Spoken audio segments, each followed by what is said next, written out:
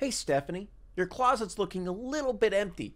Maybe you should fill it with a little bit of Bionic Pig merch. That's right, baby. This merch is made by fans for fans. I held a contest on my Twitch and you guys made the sickest designs and I picked my favorite ones and put it on the website. And the winner of that t-shirt contest, bam, won $100. And all shirts are only $17. $17?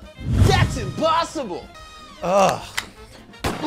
Shut your mouth, you son of a bitch. Go to the bacon shop and get yourself some freaking Bionic Pig merch, you ingrate. Does anyone remember Paris Hilton? You know that one girl, she was famous, you know, for that thing that, uh, you know, being famous? Well, not sure if you guys are aware, but she had a pretty amazing acting career. Starring in films such as Pledge This, House of Wax, and a family favorite, Dimitri Vegas and Like Mike vs. Paris Hilton, Best Friend's Ass. Huh.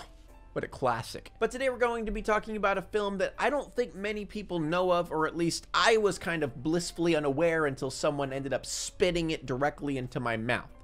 Because that's what it felt like. The Hottie and the Nottie. A movie that could be summed up in one noise. Uh, ah, oh, uh, what? This is one of those movies that attempt to make some sort of progressive message. It's a basic cliche message, you know, care about someone's personality over their looks. And boy, they missed the mark by a mile with this movie. So the movie starts out in first grade where we meet the main character Nate Cooper and he is narrating his childhood talking about meeting the girl of your dreams. And the thing that I will keep coming back to and you probably will as well is the fact that this is first grade ladies and gentlemen. In first grade you don't think about how hot a girl is or if you love a girl. You think poopy stinky funny boogers and girls have cooties. I don't really know who uh, Heidi Ferrer is but I don't think they know how humans work. So anyway, Christabel, who is going to be played by Paris Hilton, is the new girl in school and Nate instantly falls in love with her in the first grade. How beautiful. So he makes a Valentine's Day gift for Christabel. Then we cut to 20 years later. Nate is in a terrible relationship and he's singing a song to his current girlfriend to try to mend the wounds. You want the guitar? And she hated the song so much that she ran him over with a car. I mean, just a normal reaction to a bad song, honestly. So this is where the first grade thing gets weirder and weirder. So apparently he only knew Christabel from first grade. And he saved a picture of the first grade version of Christabel. He's 26. That's like if I had a picture of a girl I knew in first grade. That's not okay. That's not normal. It's quite a car you've got out there. Thanks.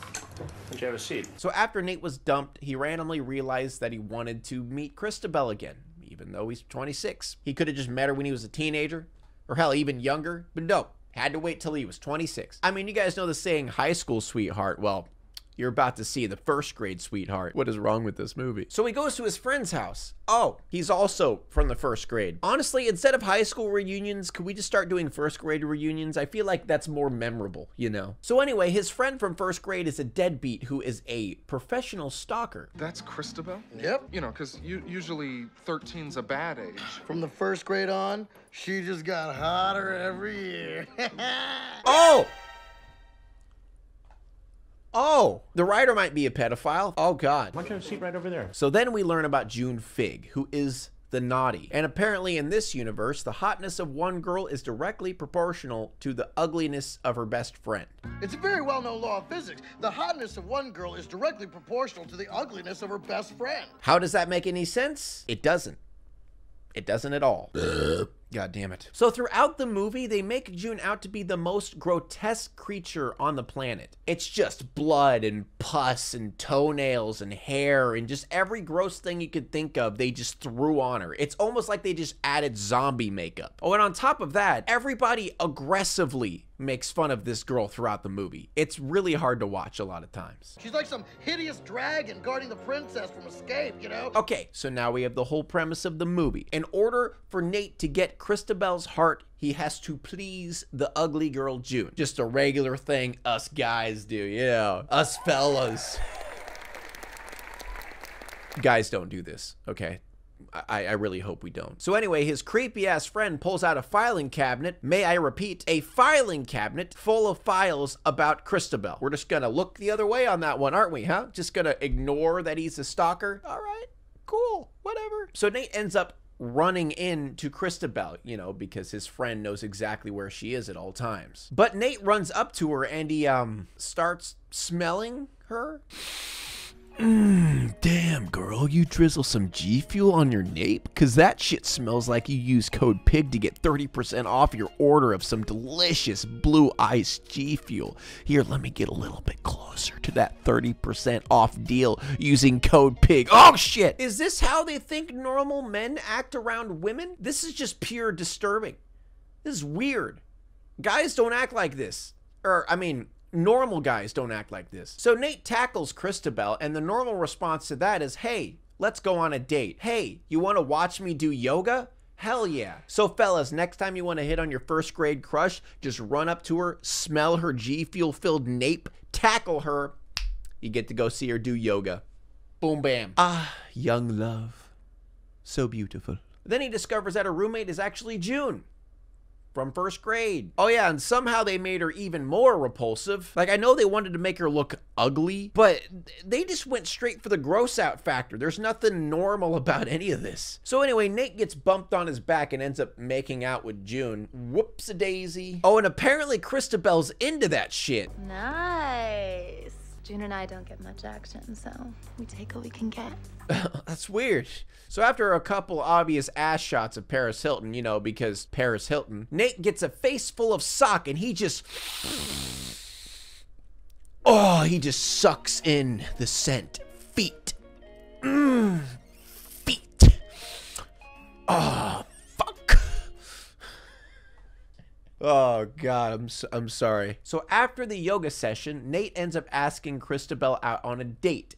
But the problem is, Christabel will not bang anyone until June also bangs someone. Wow, that is admirable. But that could be a very, very long time. Normal. So Nate gets the awesome idea to pay someone to do it because he's just a stand-up guy. So he goes up to Christabel, tries to play up the nice guy, saying like, I can't believe people can't look past June's looks and just realize he's a good person and has a good personality. Now I want you all to remember this. How awful of a person Nate is. Because Nate is appalled by June's looks and the only reason he's dealing with it is so he can get with Paris Hilton. He thinks she's gross. Just keep that in mind while we move forward. Then we meet the guy who is going to be going by the name Cole Slauson because it's a fake name that Nate ended up giving Christabel to get her to shut up. So they go on their double date together, and obviously Cole is pure disgusted. Like he just is about to puke, basically. Oh my God. It has whiskers. And no teeth. Nice to meet you. It speaks. Jesus Christ, they're fucking mean to June in this movie. Even the captain they hired to pilot the ship decides to leave because he thinks that she is ugly. I'm not feeling too well. Looks like you have to find yourself another skipper. So again, basically this entire scene, hell, this entire movie is just, hey, Christabel Paris Hilton is hot. Ooh, woo, sexy. Oh, damn. Awooga! Awooga! June is gross. Ew, poopy, stinky, winky, gross. Ew, blah.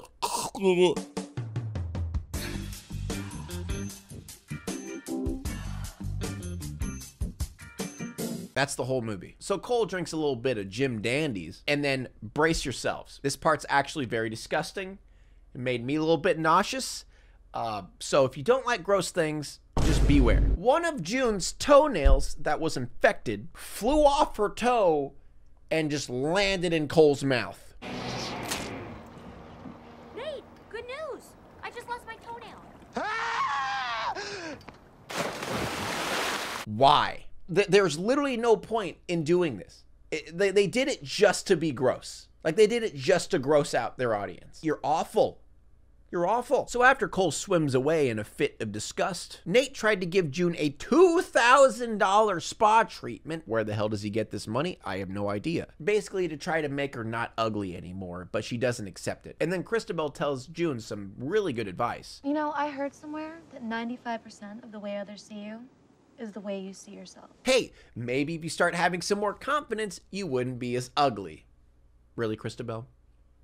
Stupid bitch. So now their new idea is to hypnotize Cole in order to find her attractive. And obviously, with the power of movie magic, it works. They didn't hire a hypnotist. They just tied him up to a car battery and then swung a, a, a clock, a, a watch in front of their face. Oh, yeah, and the phrase to snap him out of this phase that he's in is I love midget mimes. Remember my instructions tell which time you hear the phrase, I love.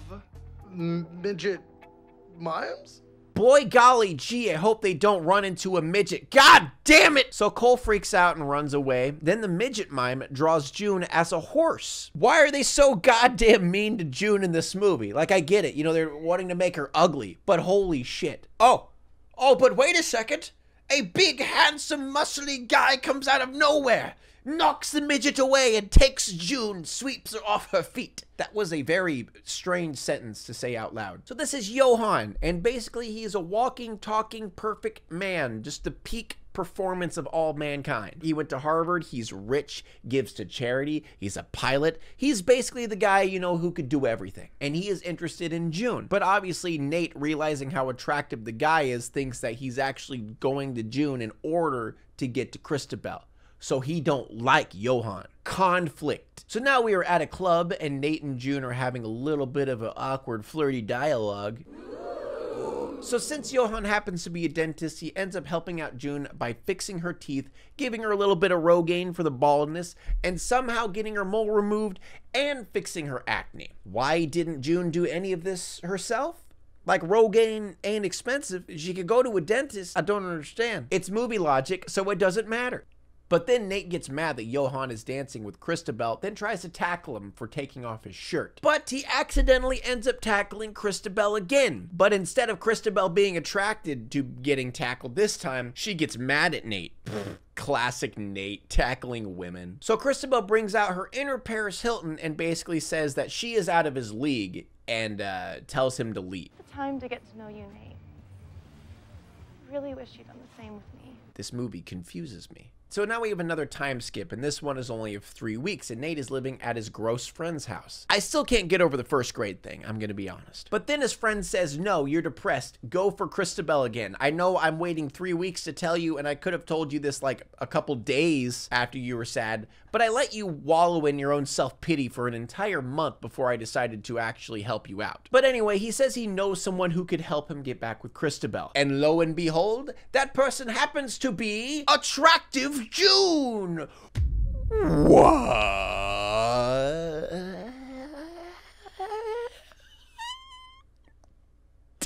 And now Nate starts to get a little bit interested in June? Oh, God. So they go back to June's place. They start talking a little bit. Then June happens to mention that she's never been kissed, and then Nate ends up kissing her. Wow, Nate, you're a cool cat, aren't you, Nate? So June tells him to leave. And now we're at a costume party. How? Why? You don't have to ask questions, all right? You just gotta, you just gotta accept what happens here, okay? So Paris Hilton farts and then spills wine on herself. Oops. Don't worry. It wasn't the smelly one. Then Nate ends up running into Johan. Then Johan says she's almost beautiful now and that he's trying to make June into his ideal woman in order to bang her. She's almost beautiful now. And I think tonight, it's finally time for a reward. You know what I mean. So Nate gets mad about that and picks a fight with Johan, and obviously he loses. But I don't get why Nate is angry. Because he's worse than Johan. I mean, sure, Johan dated June in order to fix her looks to make her more pretty, but Nate wasn't even slightly interested in June while she was ugly. He didn't even make a look at her or care about her in the slightest until she happened to be attractive. I mean, at least Johan was with her while she was ugly. Nate's actually a terrible freaking person. So finally, after all these years, Nate is finally in bed with this first grade crush. Holy shit, that sounds disgusting and terrible. But also, June is about to bang Johan. But the problem is, they both realize this isn't what they want. June wants Nate, and Nate wants June. Oh. So after a little bit of a lingerie shot of Paris Hilton, because, you know, it's a movie with Paris Hilton in it, they have to have one of those, am I right? Nate ends up telling Christabel that he does not love her and that he actually loves June. And then Christabel just doesn't give a flying fuck. Nate, I'll be fine. It's not like I have trouble getting dates.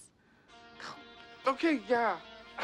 So Nate runs up to June and then confesses his love to her because he gave her the Valentine in first grade, but he didn't give it to Christabel. And since he gave her the Valentines out of sympathy, he's like, that means I love you because first grade is love. First grade first grade. So the message at the end of this movie, guys, remember, if you're ugly, just be attractive. You know? Just be pretty. What are you doing sitting there not being pretty? Just be pretty. You know what I mean? Like like hire someone to make you pretty. Plastic surgery. Make yourself a fake person. Become Paris Hilton. Become Paris Hilton. No one will love you until you become Paris Hilton. What kind of fucked up message is that? But I think the real message they were going for is, you know, the normal thing. Like personality is way more important than looks, which is true. Someone who is considered hot can actually look extremely ugly if their personality is ugly. A personality can change your entire perspective of beauty. But as you can see, they missed the mark just slightly, just slightly. very slightly missed that mark. So yeah, um, this movie was awful. I wish my eyes have never witnessed it. But before you all go, you know the one thing that makes you 100% better in all categories? G Fuel. If you drink G Fuel, you will become like Paris Hilton. You will become Paris Hilton if you drink G Fuel. That's not actually their brand. That's not their their their tagline. G Fuel. You will become Paris Hilton. That is that's your new tagline, G Fuel. I'm sorry. I'm I'm writing it for you guys. You will become Paris Hilton if you use code PIG to get 30% off your order. Become Paris Hilton. Devour G Fuel. Jesus Christ. I'm, I'm gonna, I'm, I'm leaving. I'm gone. Thank you all for watching this. Please subscribe.